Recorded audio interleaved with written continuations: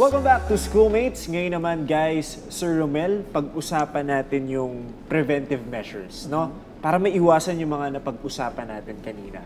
Ano bang ginagawa ng mga schools para ma-assess yung mga bullies? Meron ba tayong mga mechanism na, na, na ginagawa na itong batang to, potential na pwedeng mambiktima ng kapwa niya estudyante?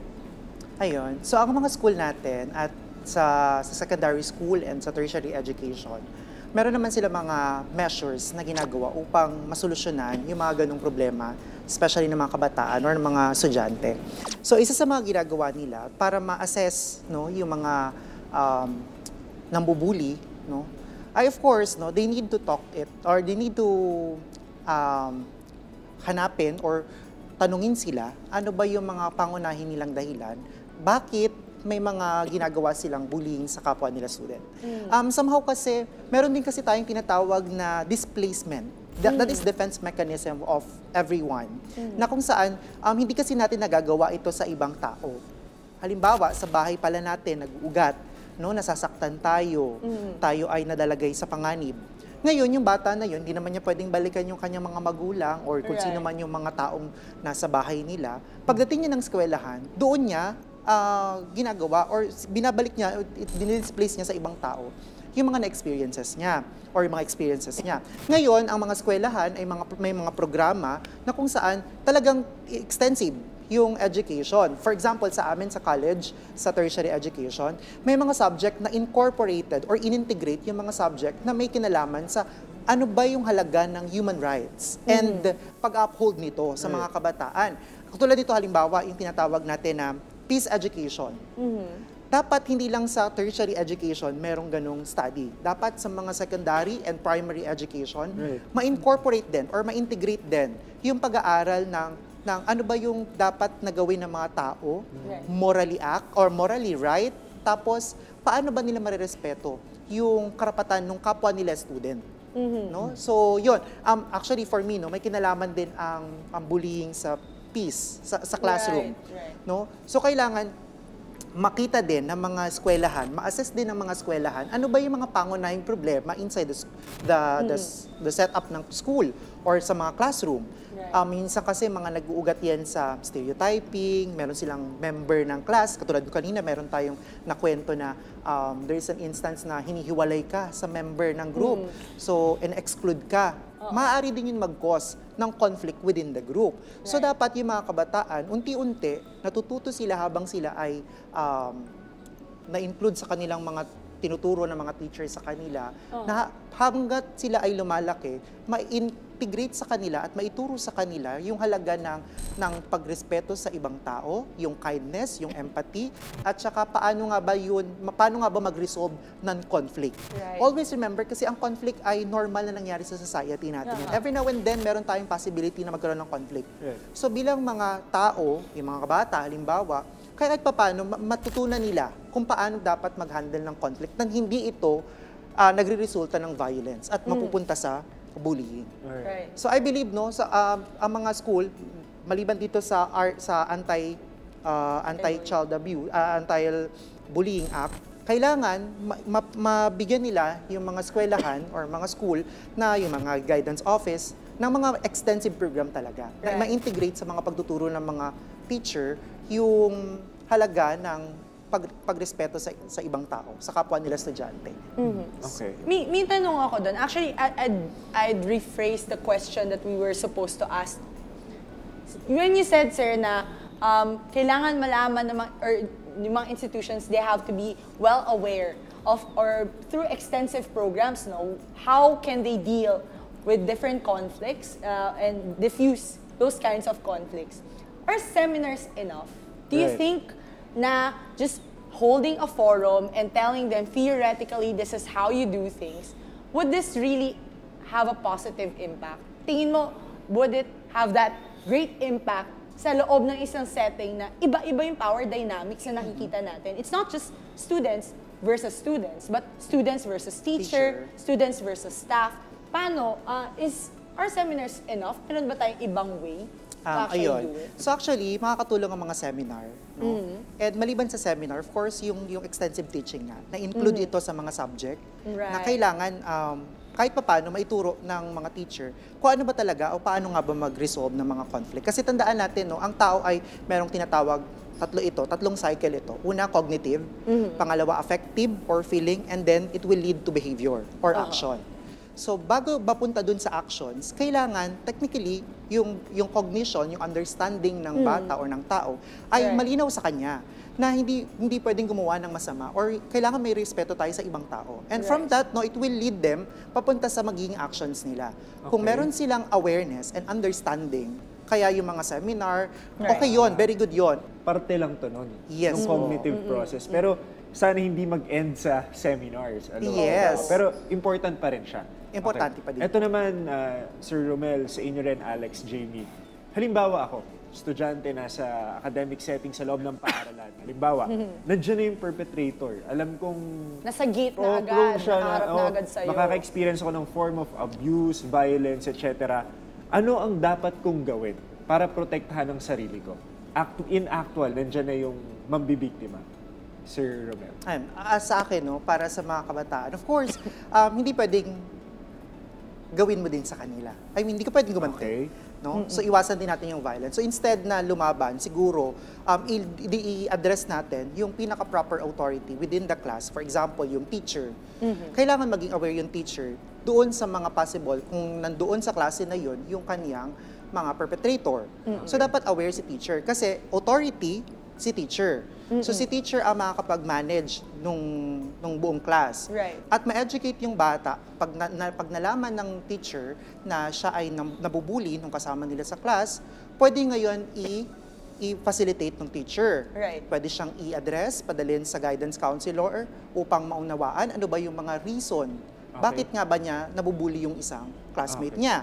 No? And then from that, no, of course, the parents, the family, which is the basic unit of our society, is a very big impact doon sa development ng mga tao or ng mga Right. bata.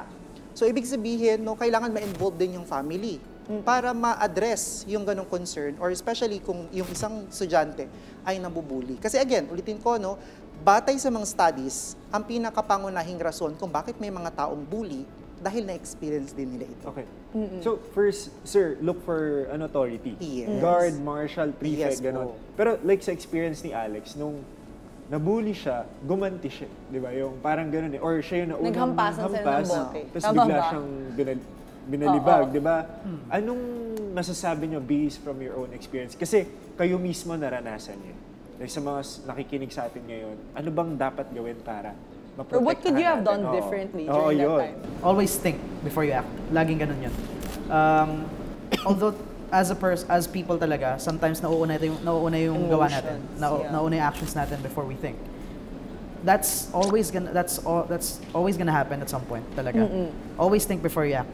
Uh, you don't know kung ano yung magiging epekto sa ibang tao, nung sasabihin mo, nung gagawin mo, kahit man na nga yung iisipin mo sa isang tao, makaka-apekto na sa gagawin mo sa kanila, Right, parang sa right. actions mo sa kanila. And also, I guess, to combat yung ano, just to go back to your scenario kanina, pag nandyan na yung si bully, paparating ka na dun sa school, nandyan na si bully, one thing na masasabi ko is, huwag niyo ipapakita na takot kayo. This is more of a parang self-defense type thing na.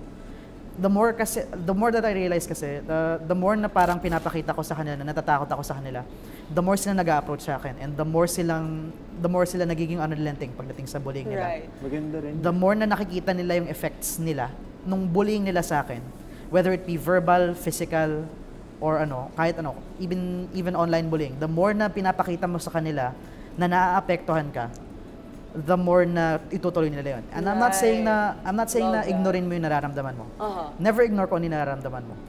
Always find ways to address kung ano yung nararamdaman mo properly, pero do not show it to them. So, sa mga magulang na nakikinig ngayon, ipaalala nyo sa mga anak nyo yung karapatan nila, yung human dignity nila na walang sino man ang pwedeng humawak sa kanila, i- ah, magsabi ng hindi maganda sa kanila, sigawan sila, ipaalala natin yung karapatan nila. Kasi Right. once informed ang mga bata, di ba, kaya nilang lumaban. Ang ang nanonormalize nga kasi yung ganitong kultura. Ikaw, Jamie. Um, I think ako, I wouldn't just depend on like on my own. Kasi I think uh, parang we have to understand bullying is like an ecosystem. I think that there's a bully, then I'm the one who's bullied. Then I have to see if there's a CCTV, if there are bystanders out there. Kasi parang I've read in a study before na parang students or people who are bullied, parang they don't want to report because for example parang there lack of evidences. Right, parang there oo. needs to be evidences pa parang to make a report a case. So parang instead of that it remains underreported. So parang I need some evidences in any way. Evidences in any way people who can see it people kasi there's some people who really want to speak up but pero sinasabi ay ang hassle kasi ang hassle ng process Right. ang hassle ng process, magre-report pa ako ganito kay guidance counselor, and then pagpunta kay gui- guidance counselor, kailangan pa punta dito, and then Right. pumunta doon. But at the same time, as a victim, maybe I- if I were that person, iisipin ko pa na, ay, wag na lang sabihin kasi ang hassle. So I would advise that person to have first bystander check, then yung location if may mga CCTV, if not, or if kaya niya mag-record, Yeah. or ganito, ganito. Kasi those are ways that you can actually help yourself. Na parang kahit harap-harapan na yung evidence, they would just fabricate it. And people would just say na, the authorities would say, okay, we have to do due process. Well, I respect the process na due process. But there has to be a point na parang there has to be evidence lagi, which I get naman. Pero not all the time, may mga bystanders who are also open. And I hope yung mga bystanders and people out there, sana they're also part of the conversation na pag may nakikita sila, i-report nila. Correct. Kasi we don't know, kasi hindi natin alam, nagko-contribute din sila sa bullying. Correct. If they're silenced, if they're not saying something, then they're also contributing. Kumbaga, kahit wala silang choosing. ginagawa, you are Yeah. also being the silent bully. Yeah. And you yourself are contributing to that cycle to happen. Correct. Pati sa pag-report, may red tape pa rin. Oo, oo, oo. Tsaka, oh. sobrang bureaucratic ng institutions ngayon. As in, step by step documented. And every day na lumalagpas, mas gumagrabe yung bullying. Kasi, shucks, masusumbong na ako. So, lalo nilang i-intensify para manahimik yung victim. So, guys, pinag-uusapan natin to, realidad to. ah. So, we're not sugarcoating it. And at the same time, siguro, ang tanong ko din no, sa mga, um, sa, sa inyo guys, Do you think na yung mga educators natin or the people who hold that authority in educational institutions or even in the workplace, do they observe enough to notice na there are changes in the students' behavior that could possibly an indicator of bullying? Or like, meron bang, oh shucks, possible threat to kasi may ginawa na siyang ganito? Or meron siyang ine-exhibit na behavior na out of the norm? Siguro, Sir Mel? Ayan, actually sa mga teachers no or sa mga magulang, ganun din sa mga nasa nasa mga authority no sa mga guidance counselor, isa sa mga fact o sa mga behavior na observable sa mga batang nabubuli ay una, absenteeism, no? Kasi para ma-avoid nila yung kanilang bully, nag-absent sila. Pangalawa, yung academic performance, low academic performance. Ma-observe niyo yan, yung mga first quarter, magaling siya. Tapos by the end of the second quarter, parang unti-unting bumababa yung grades niya. Pangatlo, na, na pwede nating ma-observe yung mga teacher is yung low self-confidence or self-esteem. Dati, kaya naman ng bata na magsalita sa harapan. Pero dahil nga nakakaranas pala siya ng bullying, no, hindi na siya nakakapagsalita sa harapan, hindi na siya nakakatayo. Pang-apat, siguro pwede rin nating sabihin na um, isa sa mga observable is yung mental health condition. Right. No? Yung dati, yung bata ay joyful naman at jolly naman na sumama sa mga group. Pero may nangyari, ang nangyari ay bigla na lang siyang in-isolate niya yung sarili niya. Hindi na siya sumama sa mga group. So doon, yung, yung mga ganong observable behavior ay pwede nating magamit at para maobserbahan natin yung ating mga anak at ating mga estudyante kung meron ba silang pinagdaraanan or meron bang mga bagay na nagkukos sa kanila, bakit ganun na yung mga nagiging behavior nila. Observable naman yon So that's a good thing na ma-note ng mga teachers natin dyan and ng mga, ng mga magulang para ma-address agad. Huwag nating pabayaan Alam mo, bukod sa monitoring, na iintindihan din natin na may kailangang mabago sa kultura natin.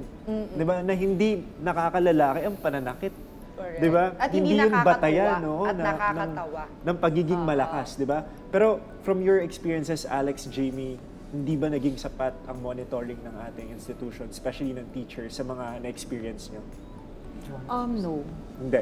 Oh, No. wait. Ikaw, Alex, hindi rin. Um, sa akin kasi, in my cases, hindi nalaman na Hindi I was nalaman. being bullied until the fact na binring up ko dun sa Okay. guidance. So bukod dun sa ease of reporting at nabanggit ni Alex din, dapat alam ng mga kabataan, ng mga estudyante yung karapatan nila. Right. Ano pa yung pwedeng gawin? Para maging maayos yung monitoring, ma-assess na, ng maayos yung mga estudyante natin.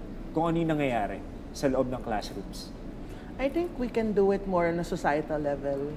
Kasi bullying is more of societal level also. Tama yung sinabi na parang, um, parang when you say you're a bully, parang you're macho. It's ingrained with our patriarchal culture. Right. So parang sinasabi na, the more that you're stronger, the more that people will admire you. The more that you're weak, the more that parang kabuli-buli ka. And I think that it has to start with our culture. It has to start with societal level, national level, that we have to have this kind of progressive thinking na parang hindi, things like this are not supposed to be normalized. Things like this has to stop right now. And that sometimes there are people who actually have to think na parang this kind of, parang kinokorrupt tayo ng ganitong mga mindset.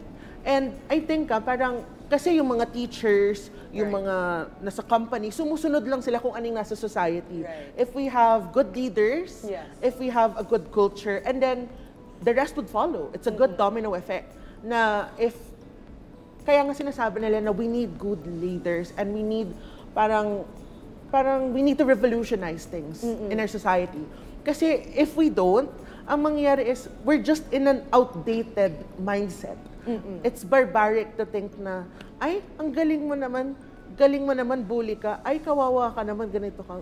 Pero I think that in this day and age, bullying has to be seen as something that's a crime. Right, Something that, kasi parang nakikita lang natin ngayon na parang bullying is something that's normal in our life. Na parang it's a childhood phase. Right.